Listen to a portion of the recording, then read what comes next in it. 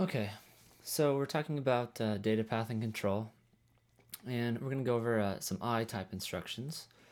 Um, these are a little different than uh, R-type and J-type uh, in the fact that uh, the bottom 16 bits are uh, meaningful to us um, as a whole, bottom 16 bits.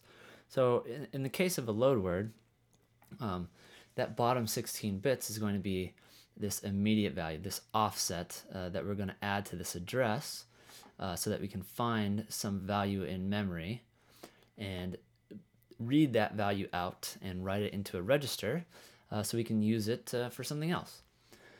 So um, if it, again, if you look on the uh, green sheet, uh, you can see that S1 here is our RT register and RS register is T1. So we can see that uh, here's here's a T1 right here is our RS register. Now there's now in T1 right we have uh, some sort of an address. That's where our address is stored is is in here somewhere in a register, and we need uh, to add the offset. And here's the path of the offset uh, for the load word.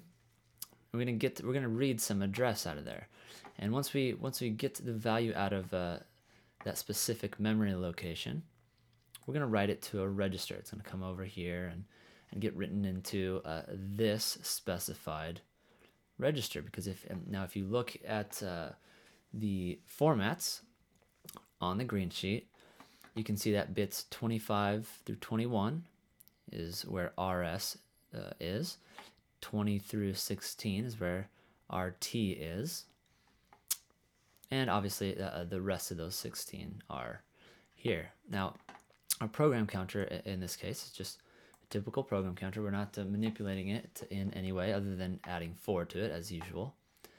And our, our all of our control lines uh, look like this. Now, what we're doing in the ALU when we when we do a load word is we're adding these two things together. We're adding these two things together.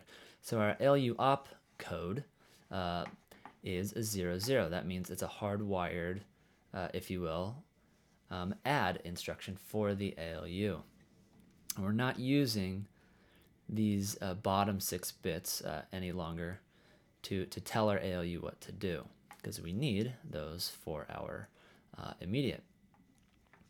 So um, again, in this in this case, we, we see that uh, we have the mem read line is 1 uh, because we want to read some value out of uh, memory.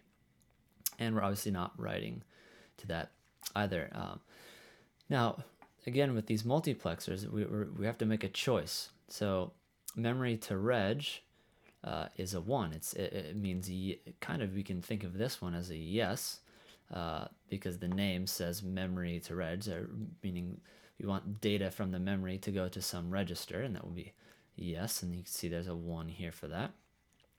And then we want to write to that register, and then register destination, obviously we need to we need to choose a 0. That's what this line needs to be, because we want this value here to be our write register. We want this register to be our write register.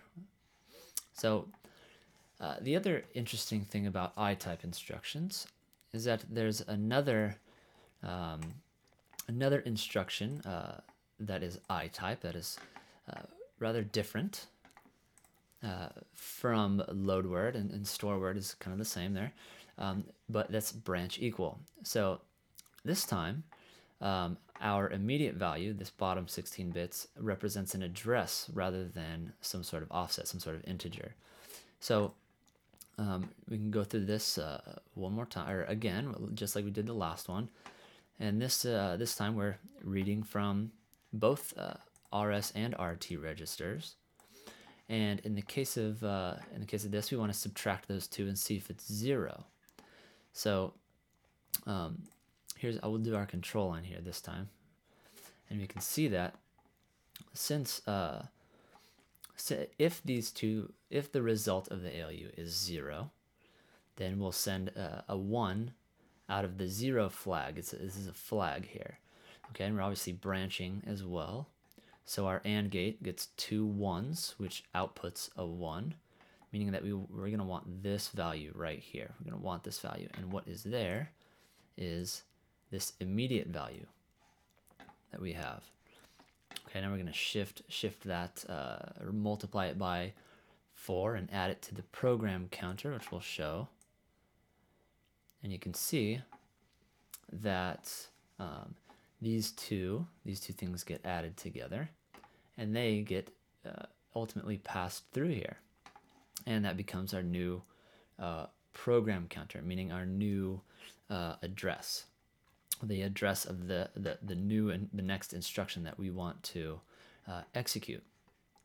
So in this case, uh, you can see that the ALU op is a 0, 1, and that is, again, a hardwired, um, a hardwired subtract, because you want to take two values out of this out of the registers, and you want to subtract them. If they're the same, and we subtract two numbers that are the same, it should be 0, meaning that they are the same.